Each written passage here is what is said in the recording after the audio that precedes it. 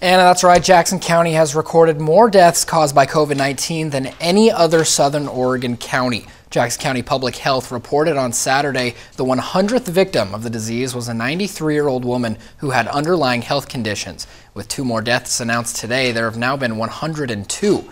County health officials say the most of the deaths are taking place at long-term health care facilities. Now that more and more of them are finally getting residents vaccinated, the county's hope for a positive change is increasing. Hopeful that now that we're getting close to completing uh, vaccination for that high-risk group, and as we start to vaccinate those that are 80 and older, and then others in high-risk groups like that, that we are going to see uh, a lowering of our mortality.